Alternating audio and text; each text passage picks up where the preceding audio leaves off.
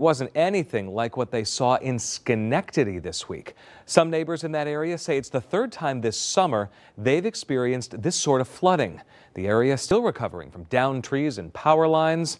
And the Weather Authority team tracking cooler temperatures as we inch towards the weekend. I say inch towards the weekend. I declared it was Thursday earlier. That just rolled. Uh, I mean, do I have no idea what day it is? I wasn't trying to mess you up. I know it's Wednesday. Yes, it is. Tomorrow's Thursday. I want it to be don't Thursday. Listen to anything I say. I want it to be Thursday and Friday too, Michael. Don't don't worry about that. But uh, as far as the weather goes, we're going to get the chilliest weather out of the way. If you don't like fall temperatures in the month of September, or at least below average temperatures, we're going to get it out of the way during the weekdays. And if you love summer, we got that warmth back for the weekend. Take a look here at the graphics. You can see the map here. You know, is it late summer? Is it early fall? Technically, it is still the summer season. We got about another week and a couple days left of it on the calendar.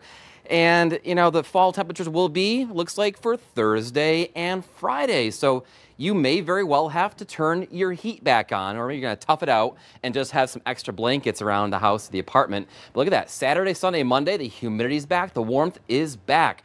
Specific numbers on the 10 day forecast. Tomorrow high, 64 degrees. That's it. And I think most spots will be seeing some sun around, so that's some good news. Maybe some lake effect clouds or sprinkles south and east of Lake Ontario in the morning, low 50.